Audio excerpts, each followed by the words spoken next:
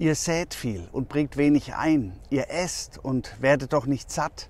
Ihr trinkt und bleibt doch durstig. Ihr kleidet euch und keinem wird warm. Und wer Geld verdient, der legt's in einen löchrigen Beutel. Das ist der Monatsspruch aus Haggai 1 für den Monat September, der heute beginnt.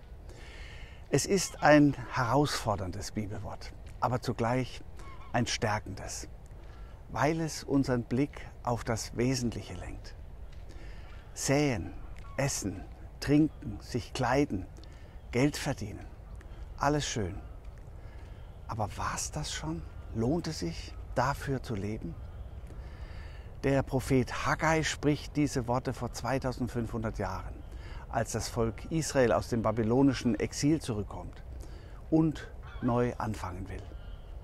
Haggais Worte leiten seinen Aufruf ein, den Tempel, das Haus Gottes, neu aufzubauen dass wir das Haus Gottes in uns neu aufbauen.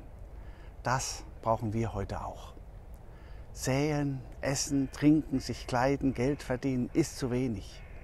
Unser Leben braucht ein Ziel, braucht einen Sinn. Nur so vor sich hinleben reicht nicht. Wofür leben wir? Wer sein Herz öffnet für Gottes Geist, wer sich von Gott geschaffen und geliebt weiß, der spürt die Antwort. Mit und für Gott leben, mit und für den Mitmenschen leben.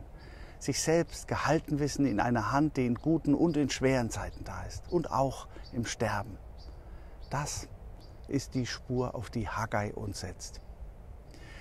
Ich werde die herausfordernden Worte Haggais diesen Monat immer wieder lesen und darüber nachdenken, wofür ich lebe und was meinem Leben Sinn gibt und darauf warten, dass ich mitten in diesen Fragen Gottes Geist spüren und Antworten finden werde.